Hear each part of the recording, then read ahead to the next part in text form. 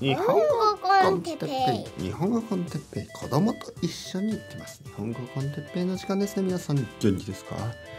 え今日はエッセイのコンセプトについて。エッセイのコンセプト。はい皆さんおはようございます。日本語 con テッペイの時間ですね。元気ですか、えー、僕は今日も元気ですよ。朝。珍しい朝はい朝。朝こんな時間にポッドキャストを撮ることはちょっと珍しい。と言っても9時ですね。朝の9時。日曜日の午前9時。えー、実はこの時間はあのー、まあ子供がスイミングをしてますね。はい。子供は日曜日の朝に、えー、泳ぎに行きます。いいですね。日曜日の朝に泳ぎに行く。なんなんともあの海の近くの町に住んでいるようなねそんな感じがしますね。日曜日の朝に泳ぎに行く、えー、残念ながら僕の住んでいる、まあ、東京のちょっと西側は海から遠いですけどまあスイミングプールがある。だからあの日曜日の朝に泳ぎに行く。で僕はあの今日レッスンがなかったので、えー、まあポッドキャストを撮っている。でもこのあと10時からレッスンがありますからあのまあ子供と一緒にスイミングプールに行くことはできない。だけどポッドキャストを撮ることはできる。ということでね自分ができることをねやればいいんですよ、えー、自分ができることを一生懸命やる。これが今の時代にやっぱり一番大事なことだと思いますね。えー、もしあのできないことできないこともありますやっぱり。でできないことは仕方がない。えー、できないことにフォーカスしてもまあ意味はない。意味は薄いですよね。でもむしろできることできることにフォーカスすれば、えー、自分ができることを頑張れば必ずあのいろいろなことが良くなると僕は信じてます。なのでできることをねやりましょう、えー、自分ができることがあるにもかかわらずそれを全くしない努力をしない。それはちょっと罪とは言いませんがちょっと残念なことですね、えー、いろいろな人ができることそしてできないことがあります。で他の人ができないことを自分ができることで補う。そして、えー、自分ができないことがあれば他の人に補ってもらう、ね、僕はパンを作ることができないけどパンを作ってくれる人が近くにいますね。パン屋さん。でとても美味しいパン。健康的なパンを、えー、毎日毎日焼いてくれている3人の女性がいます。えー、彼女たちに僕は感謝してますね。彼女たちはパンを作ることができる。ね。じゃあ僕はパンを作ることができない。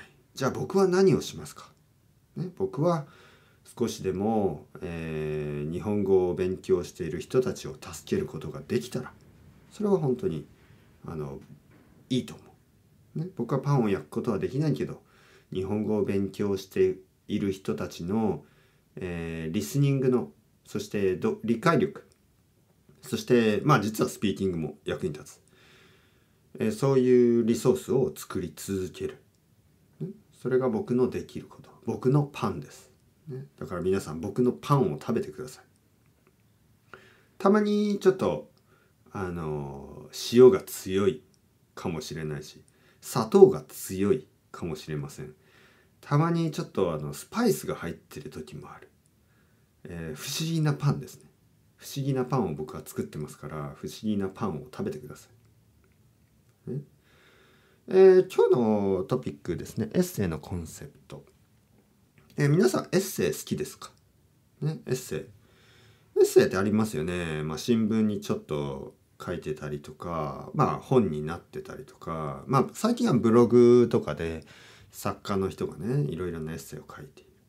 じゃあエッセイとえ、ダイアリー日記違いは何ですか？まあほとんど同じこともありますね。エッセイみたいなダイアリーもあるし、えー、ちょっと全然違う時もある。で僕がポッドキャストを始めた時にですねまあ自分ではあまり気が付いていなかったんですけどやっぱり頭の中にそういうコンセプトがあったと思います。エッセイみたいなもの。えー、ダイアリーみたいなポッドキャストっていうのはまあありますよね。その今日僕は、えー、何をしました、ね、例えばパンを買いに行きました。えー、美味しかったです。えー、3つのパンを買いました。アンパン、食パン、メロンパン。ね、アンパンマンの歌みたいですね。アンパン、食パン、カレーパン。あ、カレーパンでしたね。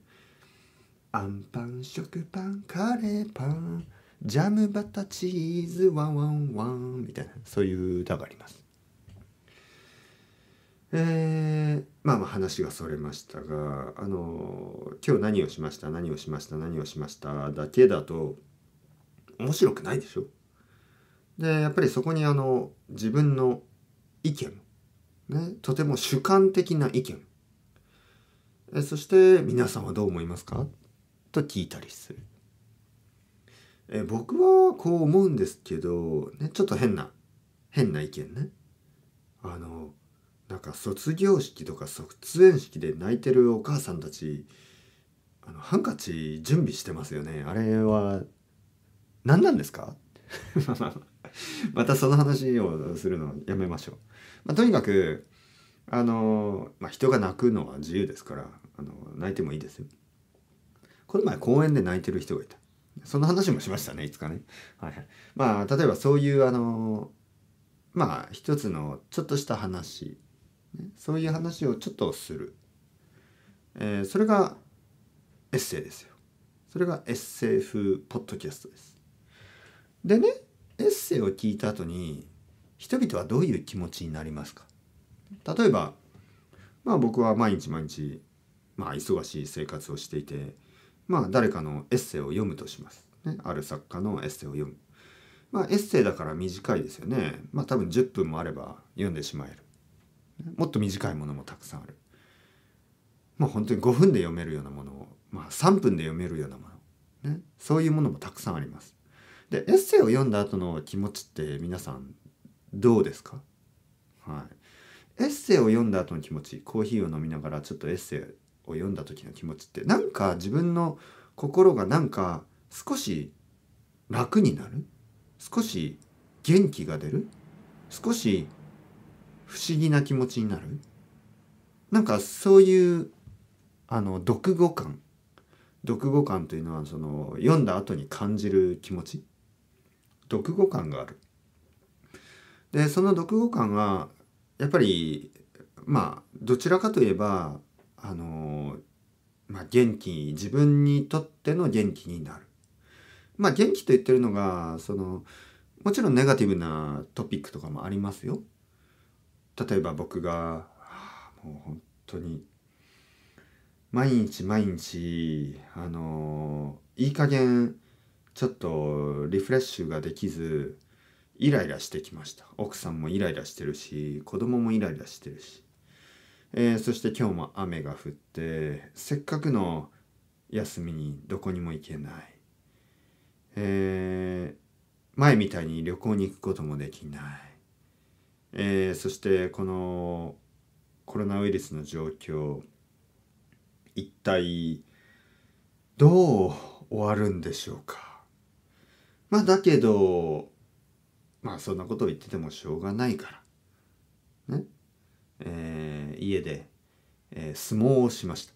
相撲を取りました。八景追い残った、ね、そしたら汗をかいて汗だくになって、えー、家族3人で笑って、ね、何をやってんだ僕たちは、ね、雨の中ジメジメとした部屋の中で相撲を取って汗だくになって。まあ3人でシャワーを浴びてまあ良かったですよ今日は。みたいな。まあ例えばねそういうそういうそういう話であのもちろんその話の始まりとしてはちょっとネガティブな。ただあの世界中の人が共感できるようなトピックですよね、えー、コロナウイルスの話はもうみんなが経験しました。でもその中でちょっと何か努力をして毎日を楽しもうとしてみる、ね、僕は例えば相撲を取りました。相撲8球多い残った子供がなんか思ったより強くなってる、ね、想像以上に強い。で大きくなったなと思いますね。はいはいはい。前はね僕は持ち上げてたんですね。ポイッとね簡単に。でもそれもちょっとあの重くなってきた、ね、そこでこう成長を感じる。重い、ね、重いというのは成長ですから。子供人間にとってね。まあまあ猫とか犬とかもかなり大きくなるあのなってる人じゃなくて犬や猫もよく見てますけどね。あの 生徒さんたちの レッスンの後ろに犬とか猫がよくいるんですが小さかった猫があのすごく大きくなったりね。はい。大きくなりましたね。本当に猫は早いですから何ヶ月か経つとえそんなに大きくなった、ね、びっくりする。まあそのエッセイというのはやっぱりこう人の心にちょっとタッチする感じがありますよね。でそういうものをまあ僕はやってきたつもりです。そしてこれからもやっていくつもり。ポッドキャストを聞く前はねなんかどんよりとした悶々としたなんかなんかこうなんかこううんいい気がしない日がありますよねそういう時にまあ日本語コンテッペを聞いてなんか変ないろいろな話ですよね。いろいろな話を聞いて、えー、そしてその後にちょっと気持ちが軽くなってくれればね。それはあの僕の望むところです。僕が望んでいるものは皆さんの気持ちがちょっと軽くなるよね。ちょっとあのまあしょうもないこととかで悩むじゃないですか。人間は。